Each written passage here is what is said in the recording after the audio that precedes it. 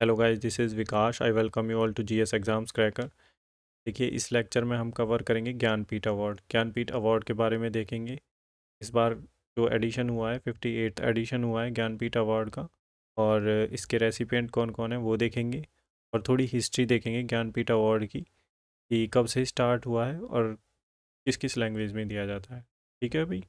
और दूसरा अगर किसी को वही टाइम कम है किसी के पास तो 1.5 की स्पीड में देख सकता है। लास्ट में मैंने एमसीक्यू दे रखे हैं, आपको एमसीक्यू की प्रैक्टिस ज़रूर से करनी है और बताना है आपके कितने सही गए कमेंट बॉक्स में। तो चलिए वीडियो को स्टार्ट करते हैं, ज़्यादा टाइम ना लेते हुए।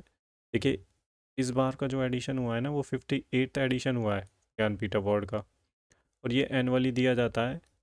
इसके लिए outstanding contribution of Indian literature Indian literature में आउटस्टैंडिंग कंट्रीब्यूशन के लिए दिया जाता है और कब से स्टार्ट हुआ था? 1965 में।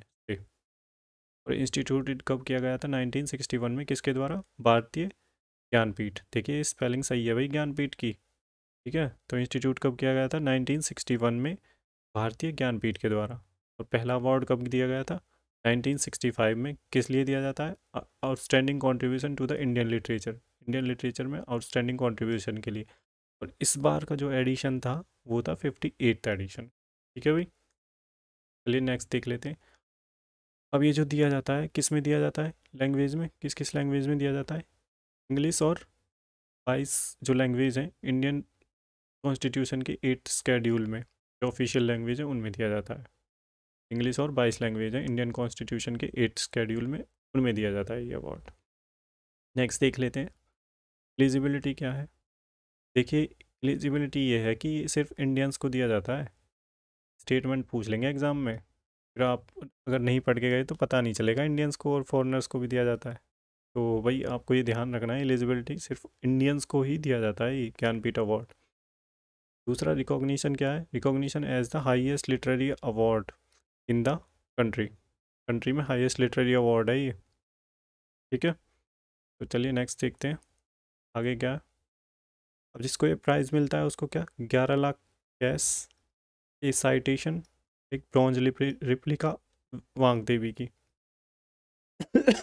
सॉरी भाई। एक bronze replica Vagdevi Saraswati goddess of learning Vagdevi Saraswati की ब्रॉन्ज की रिप्लिका है, वो मिलती है। उन्हें गॉडेस ऑफ़ लर्निंग बोला जाता है। ठीक है भाई? प्राइस में ध्यान रखना है, ग्यारह लाख का कैश अवार्ड एक साइटेशन और ब्रॉन्ज रिप्लिका वोंग देवी सरस्वती की इन्हें गॉडेस ऑफ़ लर्निंग बोला जाता है। स्पॉन्सरशिप, स्पॉन्सर कौन करता है? कल्चरल ऑर्गेनाइजेशन है, भारतीय ज्ञानपीठ। इसे स्पॉन्सर करता है। नेक्स्ट देख लेते हैं की हाईलाइट में। देखिए 2018 में। 2018 में फ़र्स्ट इंग्लिश लैंग्वेज राइटर थे, जिन्होंने ये अवार्ड दिया था। अमिताभ घोष। नाम ध्यान रखना भाई इनका। फ़र्स्ट इंग्लिश लैंग्वेज राइटर थे हैं अमिताभ घोष, जिन्हें ज्ञानपीठ अवार्ड मिला था 2018 में। नेक्स्ट देखते हैं। अब देखते हैं टू ये फिफ्टीन जो fifty eight sorry fifty eight जो ज्ञानपीठ अवार्ड है, उनके रेसिपेंट कौन है? देखिए, इस बार जो सेकंड टाइम तो संस्कृत को मिला है और फिफ्थ टाइम उर्दू को मिला है। सेकंड टाइम संस्कृत को मिला है और फिफ्थ टाइम उर्दू को। गुलजार। अब रेसिपेंट देख लेते हैं, गुलजार। रिनाउंड उर्दू पोइट हैं। इनका जन्म 1935 में हुआ था और इन्हें कुछ अवार्ड और भी मिल चुके हैं, जैसे कि साहित्य अकादमी अवार्ड 2002 में, दादा साहेब फाल्के अवार्ड 2013 में और पद्म भूषण 2004 में। ये अवार्ड भी इन्हें मिल चुके हैं, थोड़ा ध्यान रखें क्यों नेक्स्ट देखते हैं। राम भद्राचार्य जी। राम भद्राचार्य जी क्या हैं? पॉलीग्लोट हैं। इन्हें बहुत सारी लैंग्वेजेस आती हैं। स्पीकिंग ट्वेंटी टू लैंग्वेजेस और one of the four Jagat gurus Ramanandacharya of the Ramananda sect Ramananda जो चार जगत गुरु थे, रामानंदाचार्य और रामानंदा सेक्ट के उनमें से एक है सिंस 1982 से। कंट्रीब्यूशन क्या है? पोइट हैं राइटर हैं संस्कृत में, हिंदी के, अवधि और मराठी। अवार्ड मिल चुका है इन्हें, पद्म विभूषण भी मिला है 2015 तो ये भी ध्यान रखना है। नेक्स्ट देखते हैं।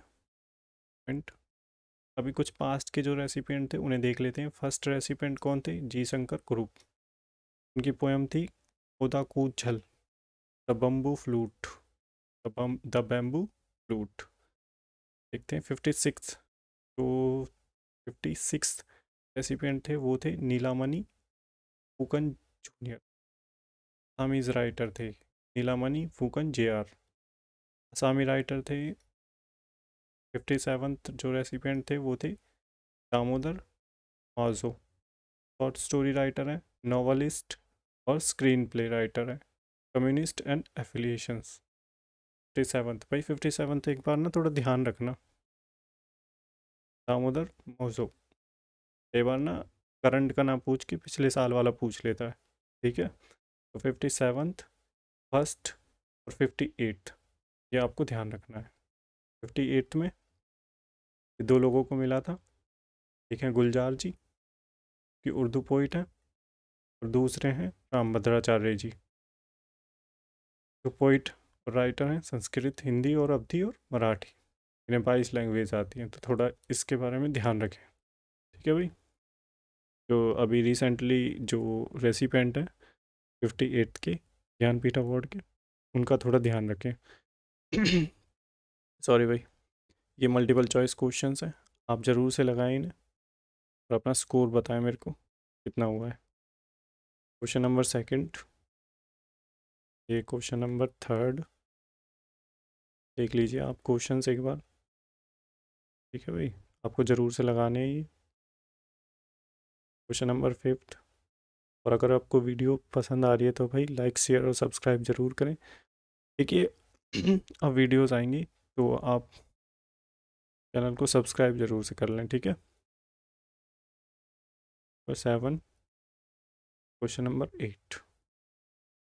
तो भाई अब हम वीडियो को यहीं समाप्त करते हैं और अगर कंटेंट पसंद आया, वीडियो पसंद आ रही तो चैनल को ज़रूर से सब्सक्राइब करें। तो चलिए अब वीडियो को यहीं पे एंड करते हैं। जय हिंद।